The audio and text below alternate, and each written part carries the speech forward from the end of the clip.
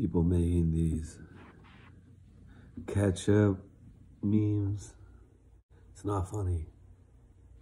This is serious. We've got to band together.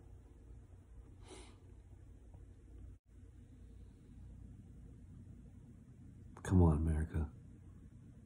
Do better. I believe the Trump shooting was real. I believe it was bad. It was sad. Um, people that are saying that was fake is